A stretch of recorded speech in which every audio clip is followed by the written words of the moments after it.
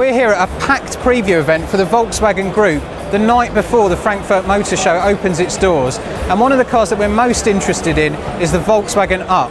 Now it's a new city car that will be a rival to the Toyota Aygo and Fiat 500 and it's effectively a replacement for the Fox and the old Lupo.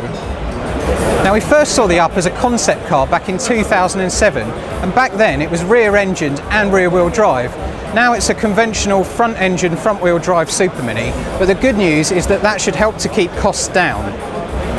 The up is just over three and a half metres long, but there's a lot more interior space than a Fiat 500 thanks to some clever packaging. Inside there's a funky body colour dashboard just like the new Beetle and an optional touchscreen sat-nav in a pod above the centre console. The car we've seen today is a three door, but there's also a five door up on the way. At the moment under the bonnet there's just a 1 litre 3 cylinder engine which comes with two power outputs, 59 brake horsepower or 74, but there's an all electric up due in 2013.